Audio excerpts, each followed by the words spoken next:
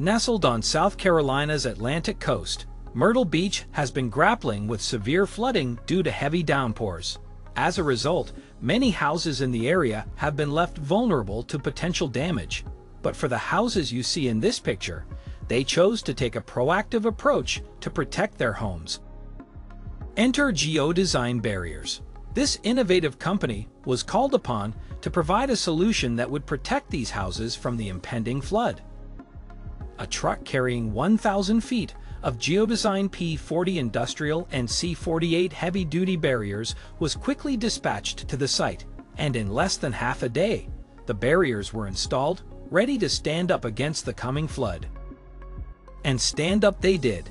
For over a week, the Geodesign barriers protected the houses from any damage from the flood. The Richardson and Taubin families were thrilled to see their homes safe and sound, thanks to Geodesign barriers. At Geodesign Barriers, we are proud to have been a part of this successful effort. Our commitment to protecting homes and communities from flooding is at the heart of what we do. Contact us today to see how we can help protect your home too.